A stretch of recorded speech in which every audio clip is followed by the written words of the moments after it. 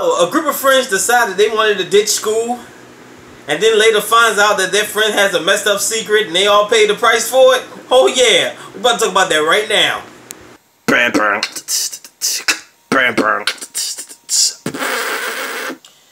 Ditch Day Massacre. This movie was okay. It was pretty good. It was directed by Joe Hendrick, written by Daniel P. Coughlin and Ryan Coughlin. Um, I thought the movie was pretty good. I, I thought it was okay, but what really messed my head up was the beginning. Okay, you see this. You see this girl named Jenny. She gets in the car. Now she's completely wasted. She's at this party. Girl is like gone wasted, which I'm shocked she could even find. She's dropped her keys before she even got in the car, so that's how you knew the girl was gone. But then what make matters worse, she get in the car, she drives the car. The girl's driving, she's texting, she's not even paying the road, no mind, not paying it, no attention by no way, shape, or form. And then she ends up hitting this guy. But not only did this guy, turns out that he had his wife in the car and his kid that was in the car seat. When the cops showed up at the scene and they pulled the car seat out of the car, the car seat was covered in blood. That was some disturbing shit. Like, and then what's so crazy is that even in real life, people drink drive. Like, people drink drink drive all the time, don't they? They yes, like and texting. Yeah, and and I really feel my heart goes out for the families that actually go through that because in this movie, when you see how the story is portrayed in this situation, it just like you really feel that here. So okay, years later down the road, you see Jenny again, played by um, you see Jenny played by Katy Foley, and you know she she's in the house um getting us getting herself ready for school, and then her boyfriend comes in. He comes in through the window. And he's talking to her, whatever. So the dad kind of hears something weird because he's a cop, which is he was there at the scene where, where you know his daughter got into an accident. But what made it worse was Daddy, as a cop, end up covering that up. And that what made it really messed up. That he covered up the fact that his daughter killed this man's family. Name goes by the name of Vince. So once once that situation happened, you see Vince in the house. He's like doing like push ups, butt ass naked, like just getting ready. He got the picture of the girl Jenny and everything. He burns it, light it on fire, crush it.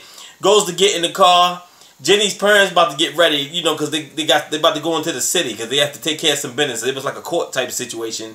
So the guy Vince caught up with them, ran them off the road, popped the father in the head with a hammer, hit the mother in the head. what what type of running was that? Right. Oh she was like ah ah ah. Gave up too easily.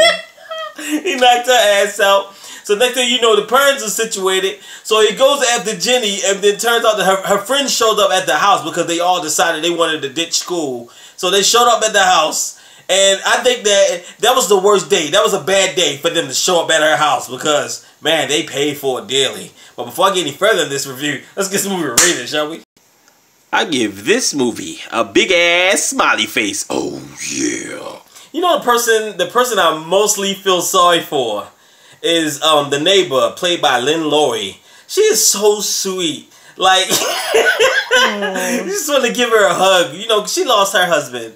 So, you know, she's lonely. You know, she she she saw the guy Vince because he was on his way. You know, he was just pumped, like pumping himself up in the car, getting ready to go in the house to kill everybody else. I mean, kill Jenny and her friends.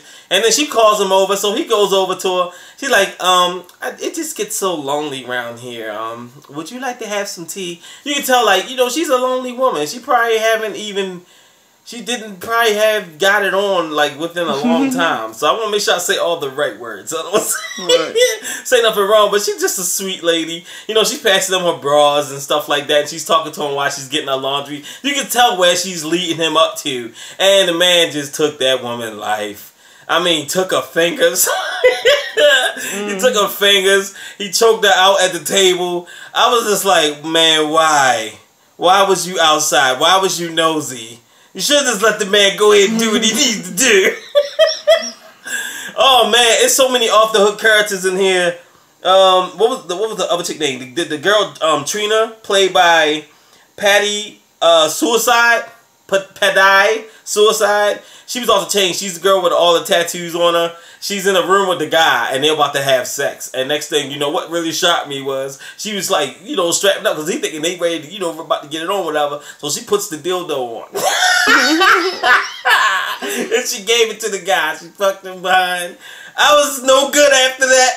Man, this movie, this movie was crazy. And like I said, the other, the other couple while they're having sex, he creeps up behind the guy while he's doing to the other girl, and he hits her, and he hits the guy in the back while he's on top of the girl. And she said, "Oh my God, did you just come at me?" he took her neck and broke her neck. Check this movie out, Ditch Day Massacre. I thought it was awesome. You can also check it out on um, Amazon.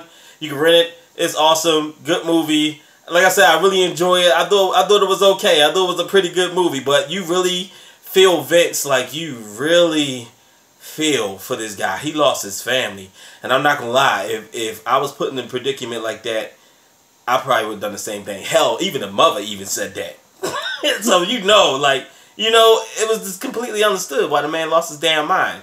Like, I mean, really lost it. This movie was good. Check it out. Don't forget to hit that like button. Don't forget to hit that subscribe button. And don't forget to leave a comment. Let me know what you think about Ditch Day Massacre. Because I told you what I thought about it. I thought it was an okay movie. And I thought it was pretty good. And it relates a lot to real life. Because people drink and drive all the time. People lose loved ones. Some people, you know, sometimes some people get justice. Some people don't get justice. But in this movie, Vince didn't get no justice. And I understand why the fuck he flipped out. Because I would have too.